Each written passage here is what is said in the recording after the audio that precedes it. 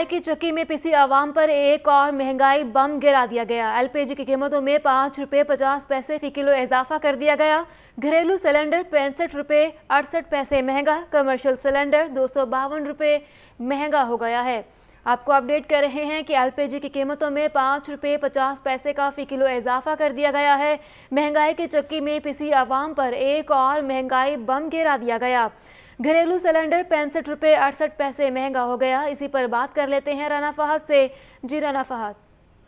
बिल्कुल महँगाई की चक्की में पिसी हुई आवाम पर एक और महँगाई का बम गिराया गया है। एलपीजी मार्केटिंग कंपनियों ने ओगरा नोटिफिकेशन के बगैर ही जो है वो बैन अवी कीमत में अठतीस रुपए फ़ी मैट्रिक टन इजाफे को जवाब बनाकर कीमतों में इजाफा कर दिया है। एलपीजी की फ़ी किलो कीमत में जो है वो पाँच रुपए पचास पैसे इजाफा किया गया है।